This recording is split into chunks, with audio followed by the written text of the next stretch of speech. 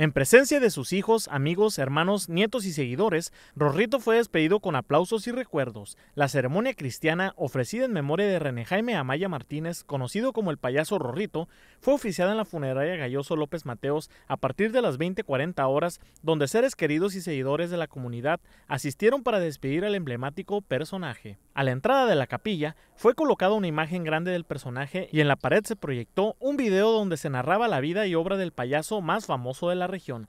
Sus familiares y compañeros de trabajo de Canal 66 llevaron camisetas con mensajes y la cara del desaparecido amigo, quien en el féretro tenía la leyenda Hasta pronto, caras de carne.